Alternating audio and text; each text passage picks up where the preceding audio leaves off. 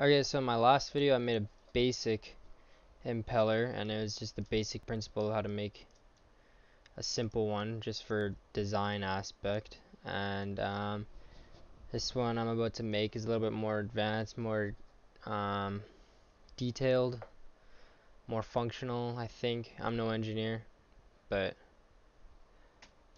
um, this one should work because it looks pretty much like a real one. Um, so you're gonna start off with your, like in the last one, just a circle on the bottom, extrude it up. Go 10 millimeters again. Go to front view. Again, make a line about 7 millimeters if you're using the same dimensions as me. Now you're gonna go um, from the top again. You're gonna make one here and then you're gonna make one just above the middle. Ah, and then stop sketch there. Then you're gonna make these the same rotation. And move them so it looks something like that just play around with the angles. I mean, it's all user preference. And for the top, oh yeah, we have to, okay. Uh, for the top one, move it out just a little bit more so that you get kind of that slant on it that drives the liquid or air upwards.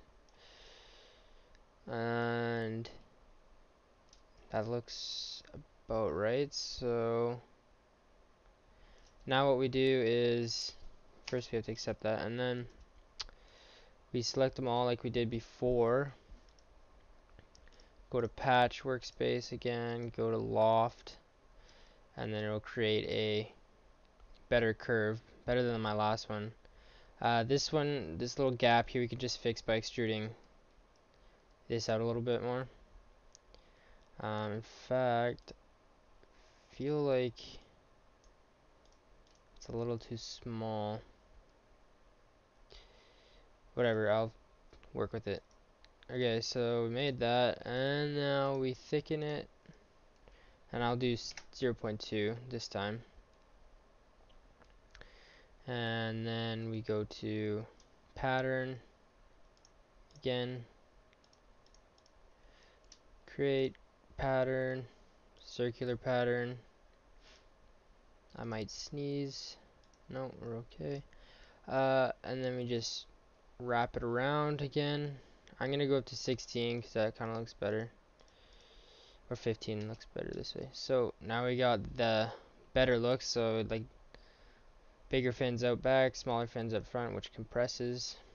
Um, and now to fix the gap, what uh what a normal impeller looks like, I've done some Google image research, the finest research available. Uh, and then um, you just click on the bottom, but it's not wanting to, so I'm going to have to cancel and try again. Sketch, offset, oh wait, stop sketch. Sketch, offset, there we go. That should work now, yeah, okay, so then just drag it out like a tiny bit. Maybe that much and then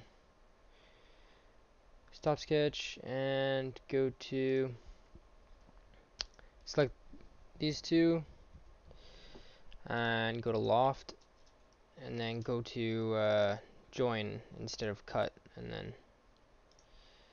and then you get that conical shape that's actually like really wimpy. Should probably redo that. Uh, create sketch offset. Make that a little bit more outwards. Make it make it as the base of it. That might be too much whatever. Experimentation. I'm just winging it. I don't even care. And loft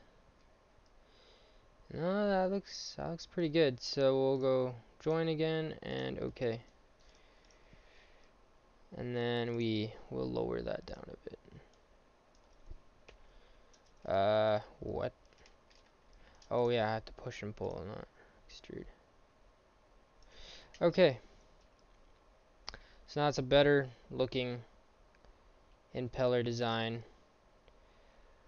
for you peeps out there. Um, yeah, once again, like, subscribe if you want any more tutorials or anything.